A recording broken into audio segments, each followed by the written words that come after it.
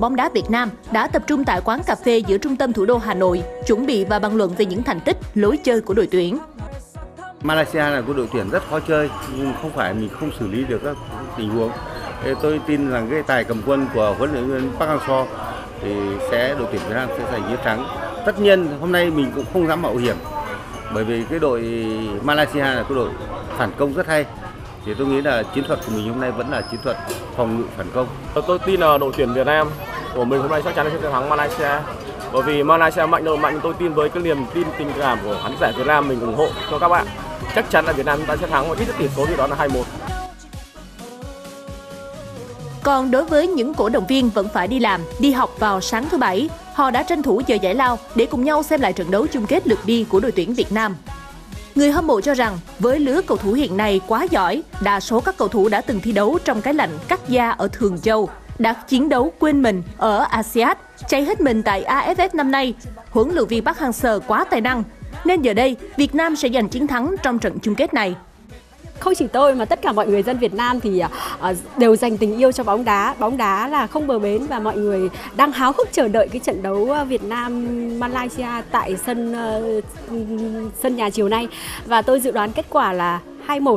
Malaysia là một đội bóng tổ chức rất là tốt mà họ đã tấn công chứ không phải là phòng ngự và đá không quá xấu. Ờ, đó cũng là những cái rất là nguy hiểm đối với Việt Nam nhưng mà tôi có một niềm tin mãnh liệt vào đội tuyển Việt Nam vì các cầu thủ của chúng ta được đào tạo khá là bài bản kể cả văn hóa những sự ứng xử ở trên sân à, trình độ chuyên môn là tương đối tốt và một tập thể là gắn kết khát, khát vọng quyết tâm rất là cao. Và tôi nghĩ là chúng ta sẽ giành chiến thắng với cách biệt chỉ một bàn. Hy vọng sự sát cánh tiếp lửa của đông đảo cổ động viên sẽ giúp cho thầy trò huấn luyện viên Park Hang-seo chơi thăng hoa, làm nên lịch sử, mang về chiến công lẫy lừng cho bóng đá Việt Nam.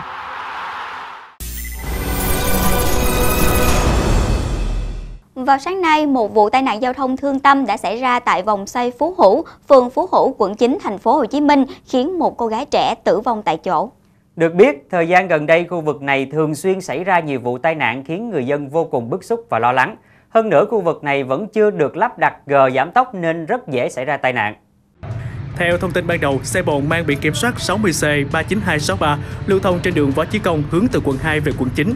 Đến vòng xoay Phú Hữu, phường Phú Hữu, quận 9, thành phố Hồ Chí Minh, tài xế cho xe để phải để vào đường Nguyễn Duy Trinh thì xảy ra va chạm với xe máy mang biển kiểm soát 60C2 04282 do một cô gái trẻ cầm lái chạy cùng chiều. Vụ va chạm khiến nạn nhân bị bánh xe bồn cán tử vong tại chỗ. Nhận tin báo, công an quận 9 đã có mặt khám nghiệm hiện trường, lấy lời khai và điều tra làm rõ vụ việc.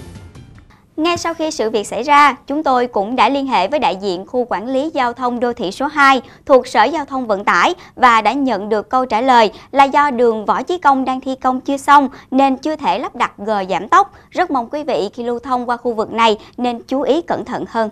Tiếp theo chương trình là một tình huống va chạm giữa một xe máy và một xe bán tải vô cùng hy hữu và hài hước. Vì sao Phạm Thanh lại nói là hài hước thì mời Thủy Tiên cùng với tất cả quý vị theo dõi ngay sau đây. Quý vị và các bạn đang chứng kiến hình ảnh một chiếc xe bán tải sau khi tránh chiếc xe con màu trắng đã di chuyển qua đường. Bất ngờ lúc này một nam thanh niên đi xe máy tới do không làm chủ được tốc độ đã va quẹt vào. Cú va chạm khiến nam thanh niên bay thẳng lên thùng xe phía sau và ngồi chiếm trệ trên đấy. Quả là một tình huống vô cùng may mắn và hài hước, đúng không quý vị?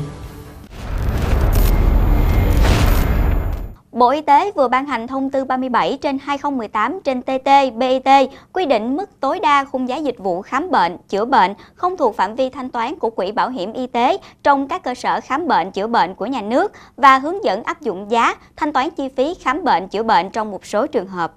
Theo đó, giá tối đa bao gồm chi phí trực tiếp và tiền lương, dịch vụ khám bệnh ở các cơ sở y tế của nhà nước giảm so với thông tư 02 trên 2017 trên TT BIT như sau. Giá khám tối đa ở bệnh viện hạng đặc biệt và bệnh viện hạng nhất giảm từ 39.000 đồng một lượt xuống còn 37.000 đồng một lượt. Giá khám tối đa ở bệnh viện hạng 2 giảm từ 35.000 đồng một lượt xuống còn 33.000 đồng một lượt. Giá khám tối đa ở bệnh viện hạng 3 giảm từ 31.000 đồng một lượt xuống còn 29.000 đồng một lượt.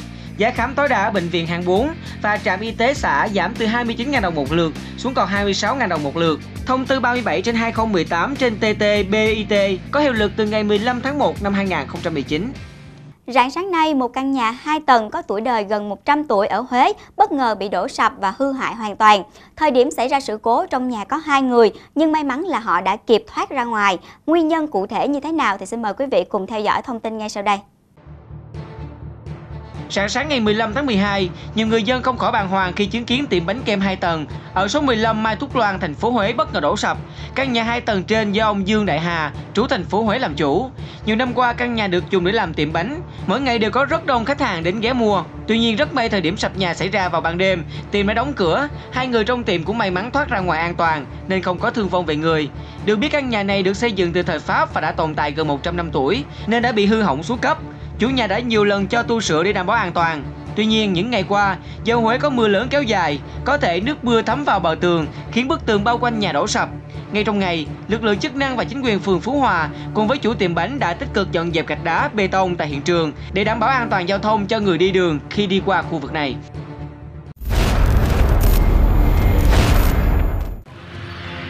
Tiếp theo chương trình là một thông tin nóng vừa được phóng viên miền Đông 24 giờ thường trú tại miền Trung ghi nhận vào thời điểm chiều nay, ngày 15 tháng 12. Anh Nguyễn Tấn Việt, trú tại xã Bình Hải, huyện Thăng Bình, tỉnh Quảng Nam, vốn là công nhân làm việc tại một công ty xây dựng công trình. Trong lúc đang sửa chữa chiếc máy trộn bê tông, anh Việt đã trèo lên cao rồi bất ngờ bị rơi xuống, dẫn đến việc bị máy trộn bê tông cuốn vào người, khiến anh không may tử vong tại chỗ. Ngay sau sự việc, lực lượng công an đã có mặt khám nghiệm hiện trường và điều tra làm rõ nguyên nhân vụ tai nạn. Tiếp theo chương trình là thông tin liên quan đến tình hình tai nạn trên biển. Thưa quý vị, trước cơn sóng to vào đêm qua ngày 14 tháng 12, một chiếc tàu cá đã không may bị lật úp khi đang đánh bắt cá, khiến cho 16 thuyền viên gặp nạn lên đên trên sóng biển giữa đêm lạnh. Rất may ngay sau đó, 13 người đã được cứu vớt, nhưng hiện vẫn còn 3 ngư dân khác chưa rõ tung tích. Thông tin chi tiết vụ việc sẽ được chúng tôi chuyển đến quý vị trong nội dung ngay sau đây. Trước đó, tàu cá mang số hiệu BV9496TS đang đánh bắt hải sản trên vùng biển Vũng Tàu cách mũi Vũng Tàu khoảng 26 hải lý thì bất ngờ bị sóng lớn đánh chìm, khiến 16 thuyền viên gặp nạn. May mắn lúc này xuất hiện một tàu cá khác đi ngang qua, ngay lập tức cứu vớt được 13 người, nhưng ba người còn lại gồm Tống Hoàng Khoa, Phạm Văn Em và Tống Thanh Chặn cùng quê Kiên Giang đã bị mất tích, tìm kiếm mãi không thấy. Ngay sau khi nhận được tin báo cứu nạn, Trung tâm phối hợp tìm kiếm cứu nạn hàng hải Việt Nam phối hợp cùng bộ đội biên phòng Bà Rịa Vũng Tàu, Bộ Tư lệnh vùng cảnh sát biển 3 đã điều động nhiều tàu cứu hộ ra biển, tiếp nhận 13 nạn nhân vừa được cứu để tiến hành chăm sóc y tế, đồng thời điều tra nguyên nhân vụ lật tàu. Và từ suốt đêm qua cho đến cả ngày hôm nay, thời tiết trên biển khá xấu, song lực lượng cứu hộ vẫn không bỏ cuộc, đang cố gắng hết sức tìm kiếm ba ngư dân còn lại hiện đang mất tích. Thưa quý vị, với sự phát triển của mạng xã hội đã giúp cho nhiều người ở cách xa nhau vẫn có thể làm quen kết bạn, thậm chí có nhiều mối tình đẹp được kết duyên từ đây phải không Thủy Tiên? Vâng và Thủy Tiên không phủ nhận việc này, thế nhưng hầu như vấn đề nào cũng có hai mặt tốt và xấu thưa quý vị. Có không ít các cô gái vì nhẹ dạ cả tin mà đã bị bạn quen qua mạng xã hội lừa gạt. Điển hình là một sự việc vừa xảy ra tại thành phố Vũng Tàu. Xin mời quý vị cùng theo dõi. Đây là Nguyễn Văn Toàn 28 tuổi, trú tại Xuân Lộc, Đồng Nai. Trước đó y cùng với một người bạn gái mới quen qua mạng xã hội đã cùng nhau đi du lịch tại Đà Lạt. Sau đó Toàn dùng giấy chứng minh nhân dân và bằng lái giả để làm thủ tục thuê chiếc xe máy hiệu Vision của ông Lê Văn Đức trú tại phường 4 thành phố Đà Lạt với giá 200.000 đồng một ngày để đi chơi vòng quanh Đà Lạt. Thế nhưng rốt cuộc Toàn lại thay biển số giả và dùng xe máy cho bạn gái về đến Vũng Tàu chơi. Khi cả hai ghé vào nghỉ ngơi tại một quán nước ven đường, Toàn đã giả vờ điện thoại hết pin và xin mượn điện thoại bạn gái. Sau đó Toàn đã điều khiển xe máy bỏ đi cùng chiếc điện thoại, bạn lấy tiền tiêu xài. Hiện Toàn đã bị cơ quan chức năng bắt giữ. Bước đầu kiểm tra trên người đối tượng, công an thu giữ 4 giấy chứng minh nhân dân nghi là giấy tờ giả. Thưa quý vị và các bạn, Bệnh viện Quân y 103 thành phố Hà Nội là bệnh viện đi đầu trong việc ghép tạng tại Việt Nam. Thế nhưng lợi dụng nhu cầu của người bệnh, thời gian qua có một đối tượng cầm đầu đường dây môi giới mua bán thận xuất hiện, đưa người vào đây để kiểm tra, xét nghiệm và phẫu thuật ghép thận. Theo cơ quan điều tra, đối tượng này đã nuôi giữ 8 người thực hiện việc môi giới mua bán thận cho khách hàng với giá 290 triệu đồng, lấy tiền lời gần 60 triệu đồng cho một quả thận. Chưa kể đối tượng này còn tàn trữ rất nhiều hung khí nóng nguy hiểm. Vào lúc 11 giờ ngày 4 tháng 12, Công an quận Long Biên, thành phố Hà Nội đã kiểm tra nhà trọ tại số 63 trên 66 Ngọc Lâm, phường Ngọc Lâm, quận Long Biên. Phát hiện phòng trọ này đang nuôi giữ 8 người để chuẩn bị đi bán thận. Bắt giữ đối tượng cầm đầu là Nguyễn Đức Thắng, 29 tuổi, trú tại xã Trường Thịnh, huyện Ứng Hòa. Tại cơ quan công an, đối tượng Thắng khai nhận đã môi giới thành công được khoảng 15 ca ghép thận với giá mua vào là 230 triệu đồng, bán cho người có nhu cầu là 290 triệu đồng. Ngoài ra, quanh khu bệnh viện 103 còn có khoảng 40 đối tượng cò mồi môi giới mua bán thận. Cơ quan công an còn thu giữ nhiều hung khí nóng tại nơi khám xét, bao gồm một khẩu súng bắn đạn bi, 200 viên đạn ba thanh đao. Thưa quý vị và các bạn, nạn bán dâm, xâm hại tình dục hay buôn người hiện nay không chỉ nhắm riêng vào đối tượng nữ giới mà ngay cả nam giới cũng đang là nạn nhân. Và mới đây, lực lượng chức năng công an quận 3 thành phố Hồ Chí Minh cho biết vừa bắt giữ nhiều nam thanh niên có hành vi mua bán dâm trá hình dưới hình thức gội đầu. Đường dây này hoạt động rất tinh vi, có cả du khách nước ngoài. Theo đó, lực lượng chức năng đã tiến hành kiểm tra tiệm gội đầu thẻ trong hẻm 39B, Phạm Ngọc Thạch, quận 3, thành phố Hồ Chí Minh và bắt quả tang khoảng 20 nam giới kích dục bán dâm cho khách trên ghế sofa, hồ bơi, phòng sông hơi. Cơ sở này đăng ký kinh doanh cạo mặt gội đầu nhưng thực chất không có nhân viên nào làm việc. Khách tại đây gồm nhiều quốc tịch và ở nhiều độ tuổi khác nhau. Sau khi mua vé khoảng 200.000 đồng, những người này tự tìm hiểu kiếm bạn tình hoặc quan hệ đồng tính tập thể.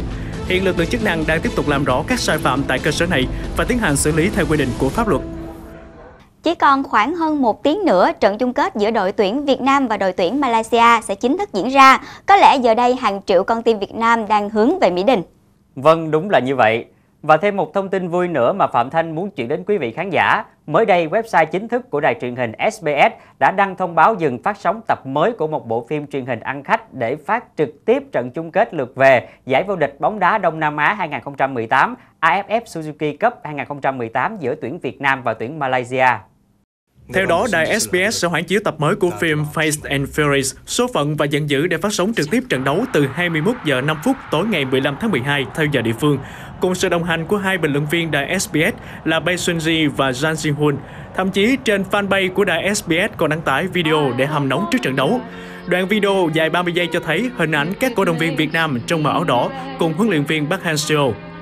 Trước đó, trận chung kết lượt đi của AFF Suzuki Cup 2018 ở sân Malaysia phát trên SBS Sport đã đạt rating trung bình là 4,706% và chạm mức 7% ở hiệp 2.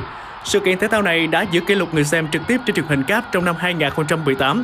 Tính từ năm 2010, chưa có chương trình thể thao nào tại Hàn Quốc đạt tỷ suất người xem cao như trận đấu vừa qua của đội tuyển Việt Nam.